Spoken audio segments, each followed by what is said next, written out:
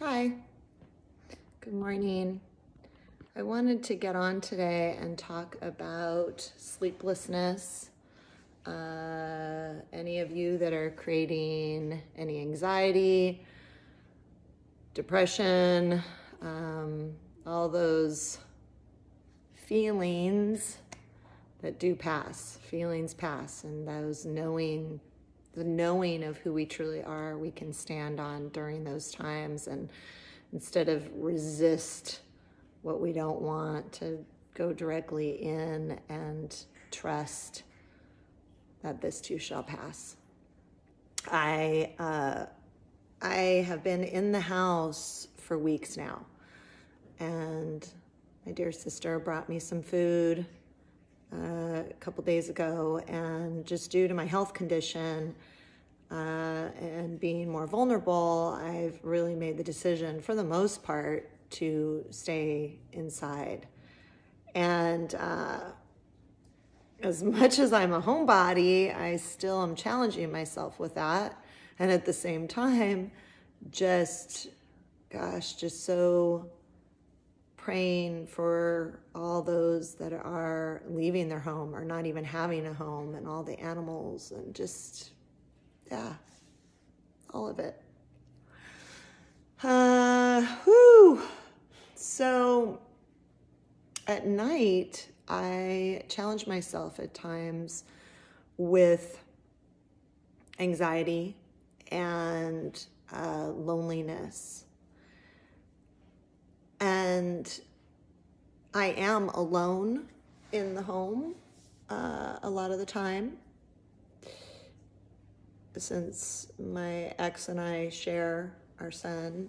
And I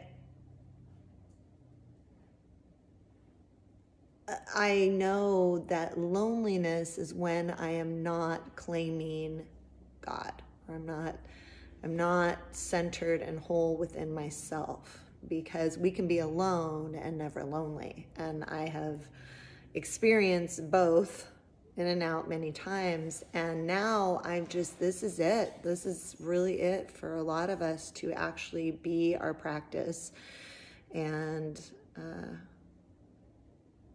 be what we know, and which is love. And when we have it to give, then we can when we have it when we're giving it to ourselves and we have it to help others and that is really my intention is to continually ground myself so that I can be centered for my son and for others uh, through however that that pathway takes me, whether it's oracle card readings or class or just phone calls with people. And uh, I create so much happiness when I am taking care of me so I can actually be assistance to people.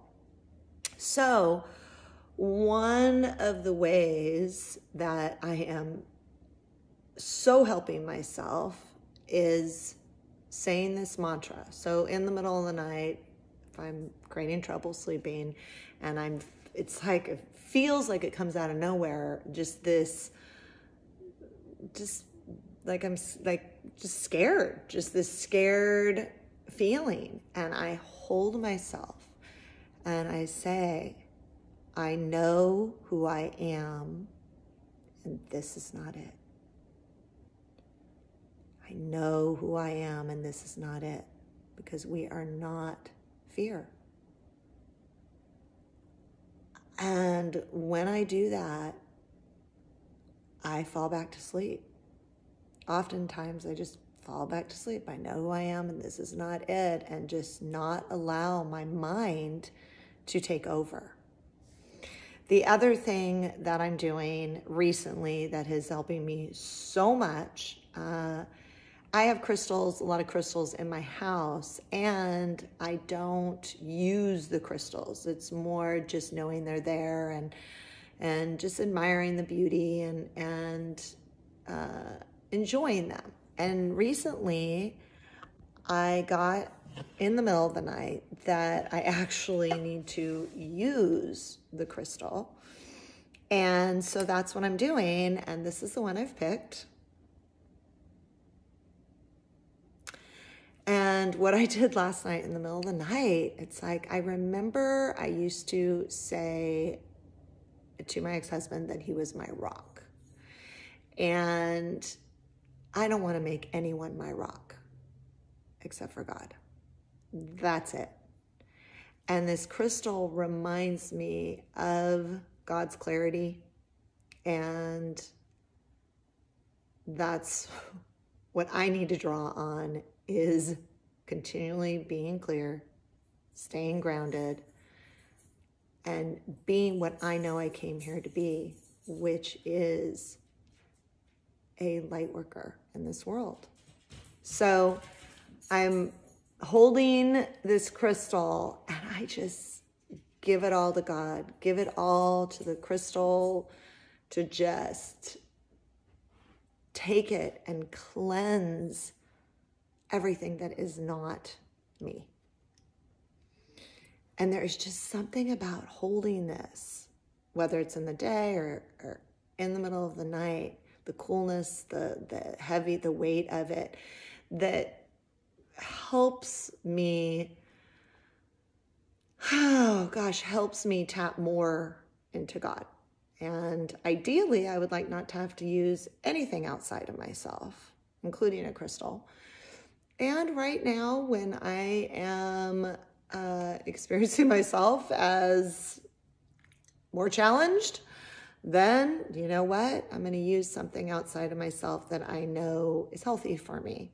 Uh, because I definitely can distract myself with things that aren't as healthy. So I'll take the crystal. so if you have any tips of what you're doing, uh, also breathing, breathing, breathing, that's that's a huge one.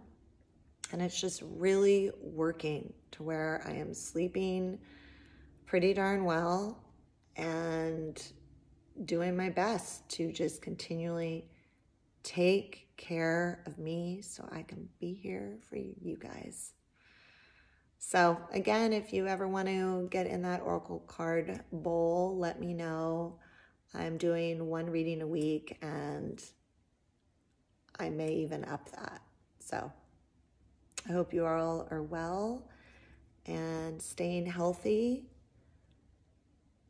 and breathing because breath is life. That is for sure. Love you guys. Bye.